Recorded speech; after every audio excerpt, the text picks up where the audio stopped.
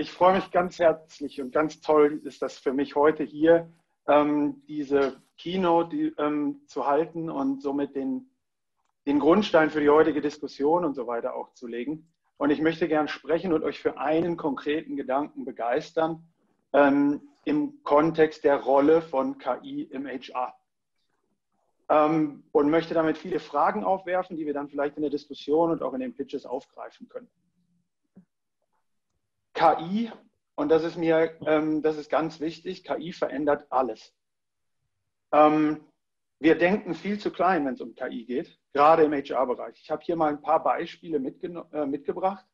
Ähm, wir müssen uns klar machen, wir werden die maschinelle Superintelligenz irgendwann in der Hosentasche haben. Ja? Mit, unserer, mit unseren Handys, die heute schon deutlich mehr können als äh, die die, der erste äh, C64-Computer, den ich unter den Fingern hatte, und zwar deutlich mehr, ähm, haben wir diese, diese Inhalte, diese maschinelle Superintelligenz in absehbarer Zeit in, direkt in der Hosentasche immer mit uns dabei.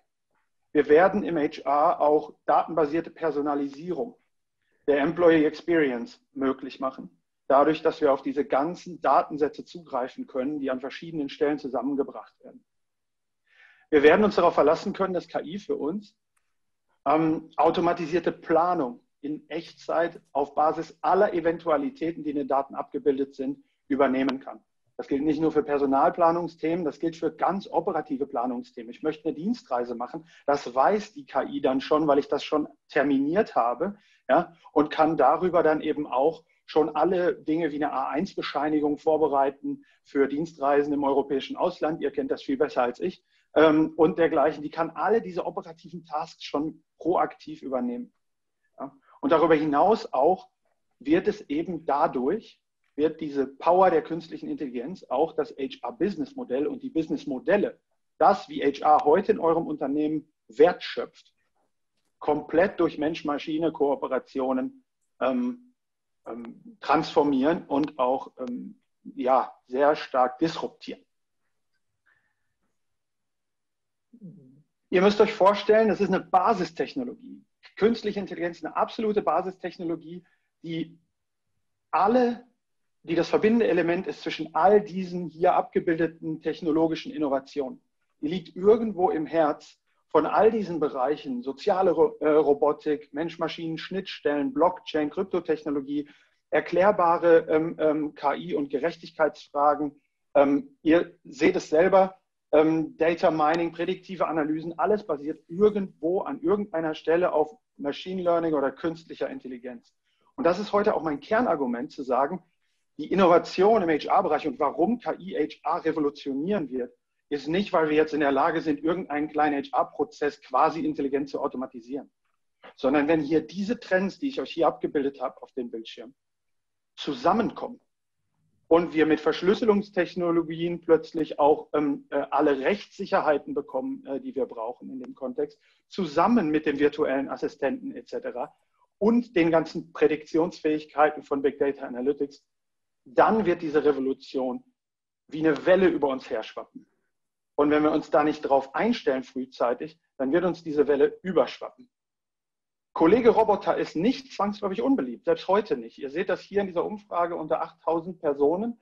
Ähm, der AI at Work Report, der, der regelmäßig rauskommt, 53 Prozent sind optimistisch und begeistert über den Einsatz von Roboterkollegen.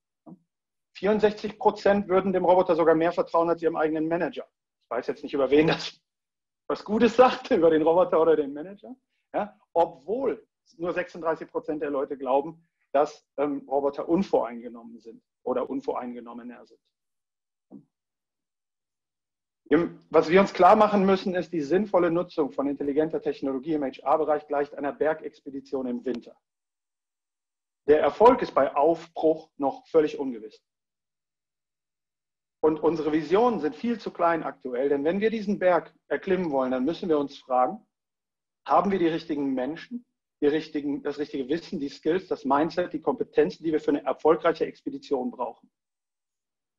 Haben wir die richtigen Tools an der Seite dieser Menschen und im besten Fall eine Toolbox, die es ihnen ermöglicht, auch diese, diese Reise, diese schwierige Expedition auf diesen Berg im Winter auch wirklich ähm, äh, zu meistern. trainieren wir die Tools mit der benötigten Datenqualität, dass wir da auch sicher sein können, dass diese Inhalte ähm, ähm, verzerrungsfrei sind und nicht diskriminieren, wenn wir dann Vorhersagen treffen. Schaffen wir das richtige innovative Organisationssetup außenrum für eine erfolgreiche Expedition auf diesen, auf diesen Berg? Und zu guter Letzt etablieren wir die benötigten HR-Prozesse und die benötigte HR-Prozesslandschaft für eine erfolgreiche Expedition auf diesen Berg. Und ich mag diese Metapher total, weil sie zeigt, wenn wir das verknüpfend anwenden und nicht immer nur fokussieren auf einen Prozess oder vielleicht zehn Prozesse oder ein Tool oder fünf Tools, sondern uns eine Toolbox überlegen und das Ganze ganzheitlich angehen, zusammen mit, mit den Menschen, die wir heute haben und den Weiterbildungsmöglichkeiten und Notwendigkeiten, die sich dort ergeben, eingebettet in ein Organizational Setup, das auch wirklich Innovation fördert und Fehler erlaubt, weil der Umgang mit KI im Trial and Error passieren wird, ja, wenn wir Fortschritte machen wollen. Und deswegen mag ich diese, diese, diese Bergmetapher so sehr und würde euch dafür gerne begeistern, in dieser Metapher zu denken, wenn es um KI-Projekte und auch KI-Projektrahmen und Landschaften im HR geht, zu sagen, unsere Vision für HR Tech ist aktuell noch viel zu klein. Eine Bergexpedition im Winter, das ist eine große Vision. Was wir aber für ein Problem aktuell haben, unsere Erwartungen, obwohl wir eine kleine Vision haben, sind riesengroß.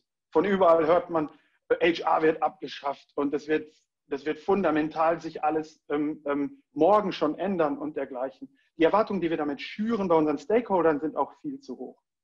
Nein, wir brauchen eine viel größere Vision, aber eine viel realistischere Einschätzung der Erwartungen. Dass man nämlich auch häufig, wenn man versucht, einen Berg im Winter zu erklimmen, der abgebildete Berg gerade war der K2, der erst kürzlich im Winter ähm, erklommen wurde, ähm, dass das sehr häufig scheitern kann. Und dass das bei Ausgang heute ungewiss ist.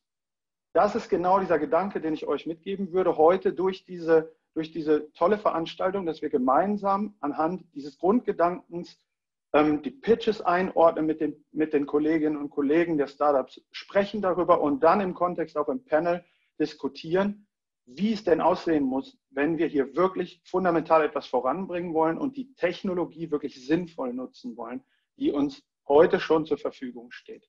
Vernetzt euch gerne. Ich danke, dass ich den kurzen Impuls halten durfte und freue mich jetzt auf die Startup Pitches.